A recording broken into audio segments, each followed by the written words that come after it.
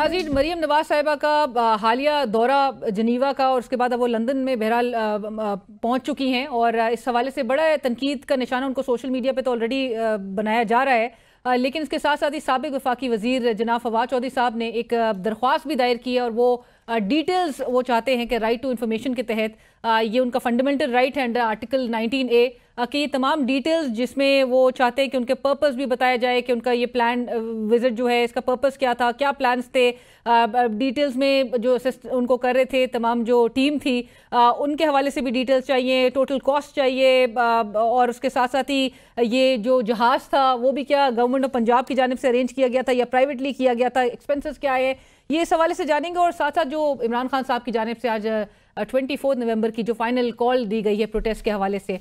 उस पर भी हम चाहेंगे कि वफाकी सबक वफाकी वज़ीर फवाद चौधरी साहब क्या राय रखते हैं? फवाद चौधरी साहब सलाम बहुत शुक्रिया ज्वाइन करने के लिए। फवाद साहब बिगिनिंग विद योर पिटिशन ये जो आपने दरख्वास्त दायर की है राइट टू इन्फॉर्मेशन के तहत ऑलरेडी कोटेड द डिटेल्स आप क्या समझते हैं? क्या निकलेगा इस दरख्वास्त से? आपको लगता है कि पाकिस्तान जैसे मुल्क में ये डिटेल्स सामने आ जाएँगी?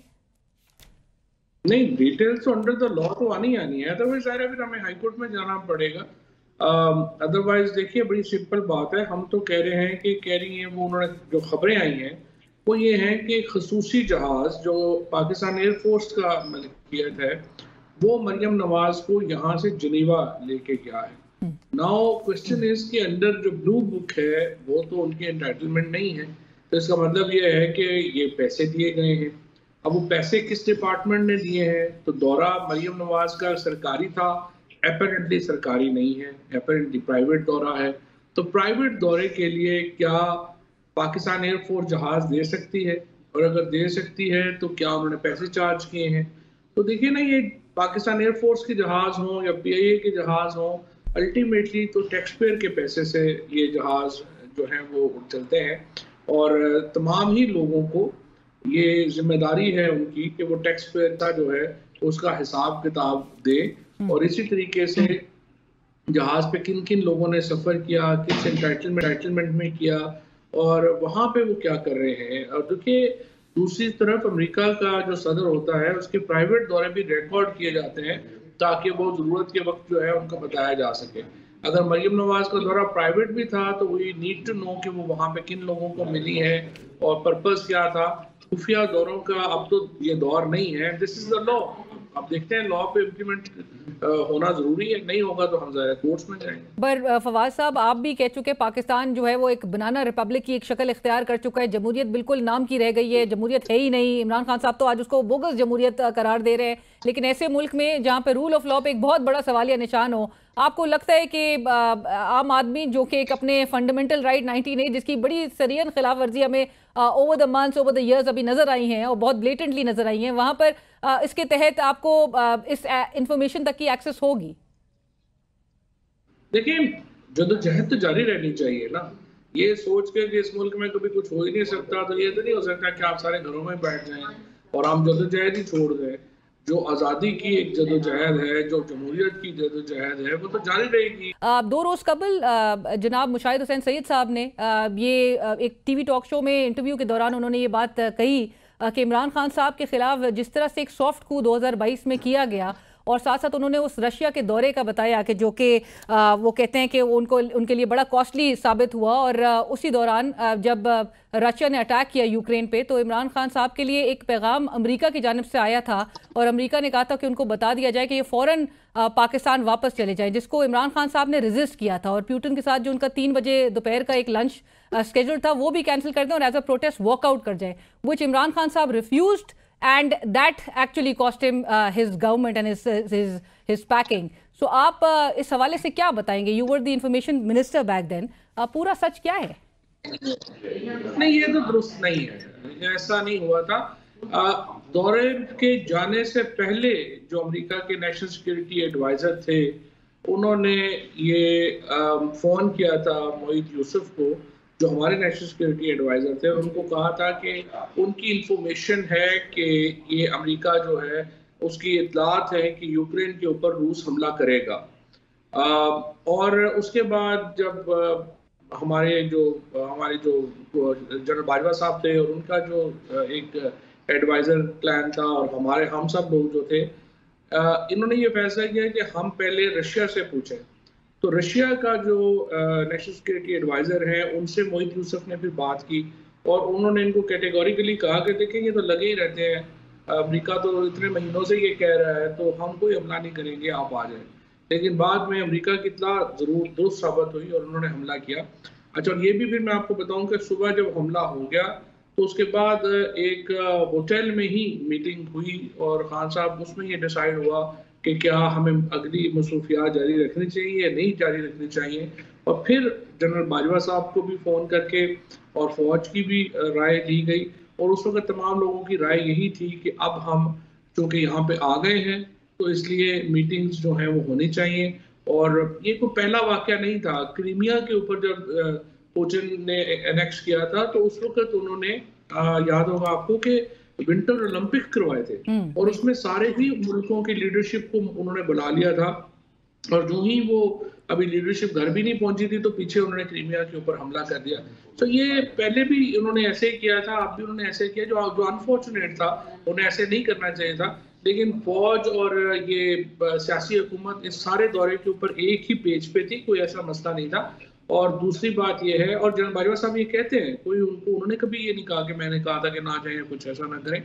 और तीसरी इंपॉर्टेंट बात यह थी कि अमेरिका का जो फ़ोन था वो दौरे से पहले आया था।